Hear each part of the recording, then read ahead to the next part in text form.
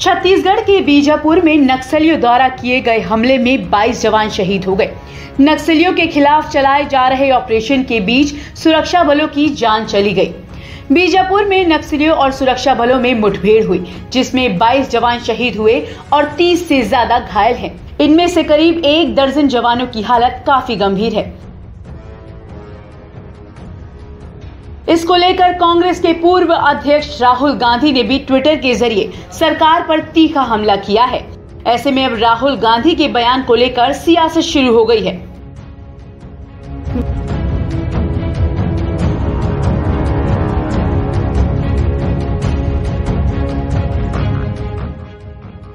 BJP के राष्ट्रीय प्रवक्ता और बिहार के उद्योग मंत्री शाहनवाज हुसैन ने भी राहुल पर हमला बोला है।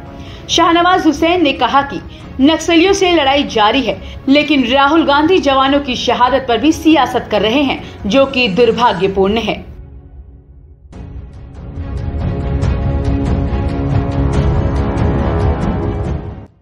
ऑपरेशन पे सवाल राहुल गांधी जिस तरह की भाषा बोल रहे हैं वो दुर्भाग्यपूर्ण है। इस तरह घटना पर सीआरपीएफ के जवान और जवान शहीद हुए किस तरह की वो राजनीति कर रहे हैं? क्या जवानों पर भी इस तरह की सियासत करेंगे? ये दुर्भाग्यपूर्ण है। देश के अंदर उनके इस बयान से लोग नाराज़ हैं। नक्सली से लड़ाई जारी है, मजबूती से लड़ाई होगी। नक्सल को समाप्त किया जाएगा, लेकिन इस पर कांग्रेस बयानबाजी न करे।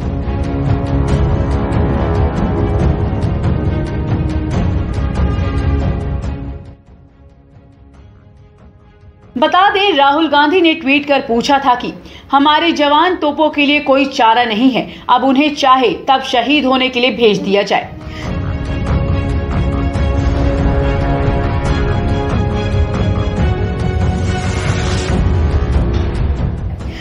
साथ ही खबर शेयर करते हुए लिखा कि अगर कोई खुफिया असफलता नहीं थी तो एक जवान के बदले एक नक्सली का मारा जाना, ये बताता है कि ये खराब तरीके से डिज़ाइन किया गया ऑपरेशन था, जिसे अंजाम भी उतने ही बेकार ढंग से किया गया था।